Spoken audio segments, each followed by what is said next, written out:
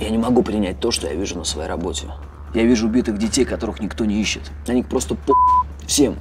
Я вижу детей, которые крадут, чтобы есть, которые употребляют, чтобы жить. И я в душе не еб... где здесь Бог. Всем привет, меня зовут Ади Венес, и в картине «Водоворот» я играю Марка Дэвина. А о том, что никто нахер никому не нужен, на мой взгляд. Все это выражается в наших детях, которые растут без любви, без внимания. Говорить о том, что есть какая-то вероятность или какой-то риск того, что нас всех засосет, думаю, по уши там. Я думаю, что, конечно, совсем малышам не надо его показывать однозначно. А вот родители малышей должны это посмотреть. Так устроено, это просто правила игры.